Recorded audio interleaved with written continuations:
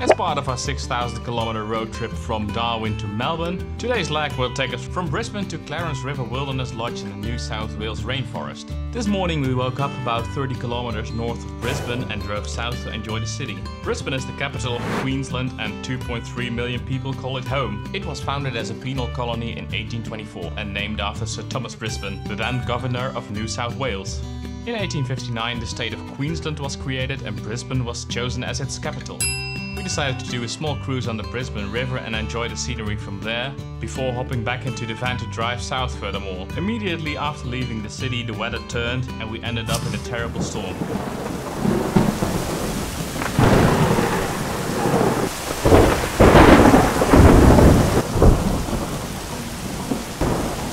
We made it through alive and well, but some of the trees were not so lucky. Luckily for us, some truck drivers immediately got to work and pulled all the trees from the streets.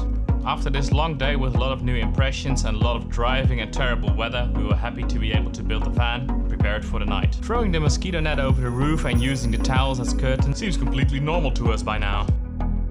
Next morning it was time to fly the drone and enjoy the scenery from the sky before we took off for a hike. Doing a hike.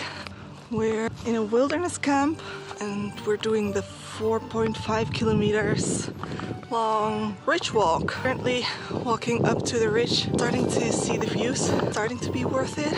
It's hard, especially for us when we are so untrained. We've been sitting in the van for two weeks and not walked much, so. But we'll get there. It's good. Mark Jos is going first. He walks a lot quicker than I do when we go up. Usually I go quicker when we go down.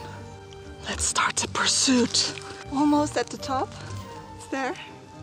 If you're wondering where we came from, there is our van. There. Oh my god. Glad we got lunch now. Guess who has to make the lunch though?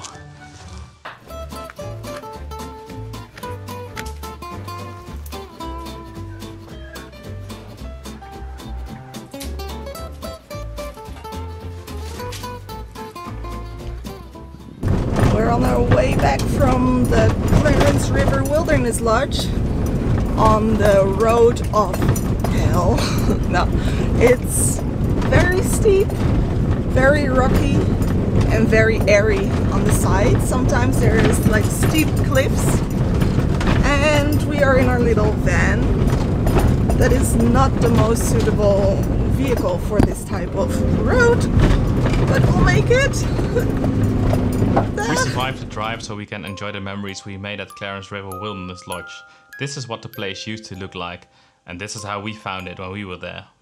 In 2019, the worst drought in 100 years struck Australia, with immense bushfires as a consequence. I found these pictures on their Facebook page and they saddened me deeply. This is what the place currently looks like. You can understand with the COVID-19 pandemic following immediately after, these people are having a hard time. So go help them out and enjoy their hospitality while you're at it. Thanks for watching, please consider subscribing and I hope to see you next time.